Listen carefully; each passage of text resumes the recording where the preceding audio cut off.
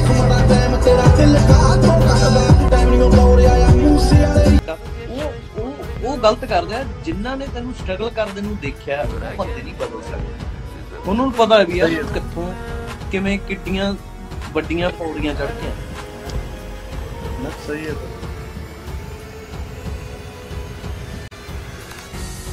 ਪੰਜਾਬੀ ਗਾਇਕ ਸਿੱਧੂ ਮੂਸੇਵਾਲੇ ਦੀਆਂ ਮੁਸ਼ਕਲਾਂ ਦਿਨੋਂ ਦਿਨ ਵਧਦੀਆਂ ਜਾ ਰਹੀਆਂ ਹਨ। ਮੂਸੇਵਾਲਾ ਖਿਲਾਫ ਫਾਰਮਜ ਐਕਟ ਦੀ ਇੱਕ ਧਾਰਾ ਵੀ ਸ਼ਾਮਲ ਕੀਤੀ ਗਈ ਸੀ। ਪੰਜਾਬ ਸਰਕਾਰ ਨੇ ਹਾਈ ਕੋਰਟ ਵਿੱਚ ਹਲਫੀਆ ਬਿਆਨ ਦਿੱਤਾ।